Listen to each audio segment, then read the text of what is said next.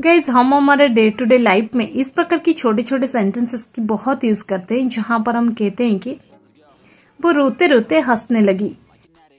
मेरी बहन पढ़ते पढ़ते मोबाइल देख रही है। नहाते नहाते राहुल गाना गा रहा था।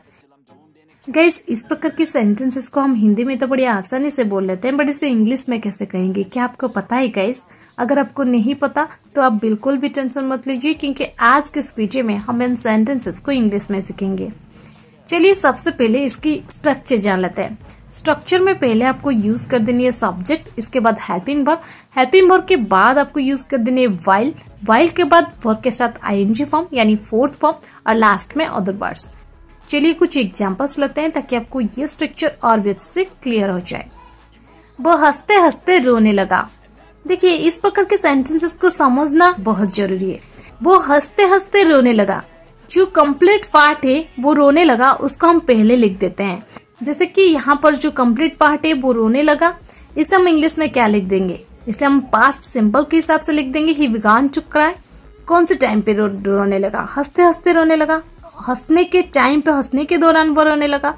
उसको हम बाद में लिखेंगे वाइल के साथ। वाइल के साथ वर्क क्या आई फॉर्म जैसे हम लिख देंगे वाइल लाफिंग सो हमारा कंप्लीट सेंटेंस हो जाएगा he began to cry while laughing clear next example मेरी बहन पढ़ते पढ़ते मोबाइल देख रही है।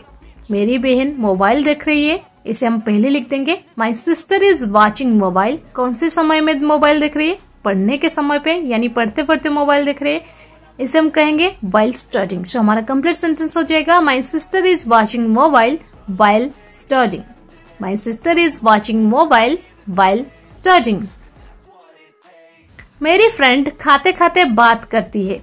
My friend talks while eating my friend talks while eating नहाते नहाते राहुल गाना गा रहा था। Rahul was singing a song while bathing.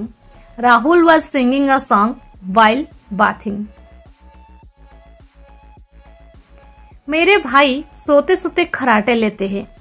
My brother snores while sleeping my brother snores while sleeping वो रोते रोते हंसने लगी। She began to laugh while crying she began to laugh while crying